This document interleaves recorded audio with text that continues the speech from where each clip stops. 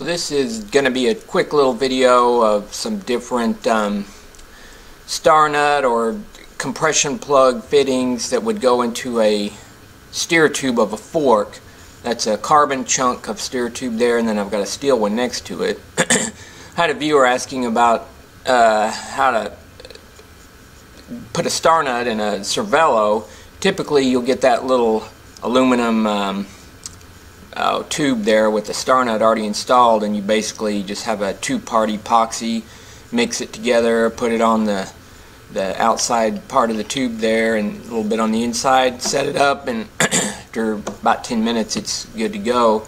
Um, it, typically on a carbon fiber steer tube you'll either glue them in bond them in there like that or you'll use uh, come like a compression plug type thing that basically there's a bolt in the center there and as you tighten it it expands inside of the fork basically to the point to hold it sturdy there. So I've got this one installed kind of outwards. It needs to go in further but I just kind of put it in to show how it actually goes in the steer tube there of the fork.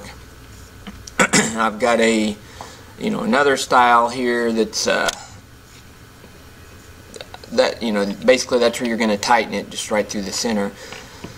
That one's on a newer you know Cannondale Evo or CAAD 10 this is kind of an older style but it's same thing. Basically that's how I would install it. Just stick it in tighten the bolt through the center which I think it's a 5 millimeter and the actual cap is a 6 millimeter. So that's basically how you would secure that in place. Um, as far as the actual star nut you're normally going to it will install in a steel steer tube or aluminum, which in this case I've got a uh, kind of just a chunk there of a steel steer tube just for an example and so we're going to go ahead and put this one in. That's the top cap and the bolt you know of a Chris King star nut so just kind of for example.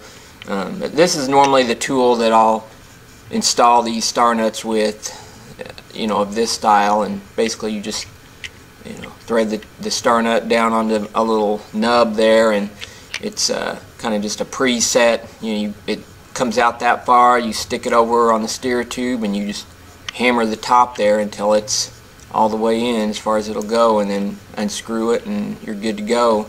Sets it in there about a half an inch and so yeah, that's normally what we'll use in the shop. You know, some people, if you're doing trying to set one in your garage or something, you don't have that tool. I've used to before there was actually a tool when the Aheadset system first came out I would just kind of do something like this you know this is longer bolt not the one that I would necessarily use but just stack a couple sockets together there that you know it'll fit inside and uh, basically just uh, use that to, as a guide and try to hold it as straight as you can.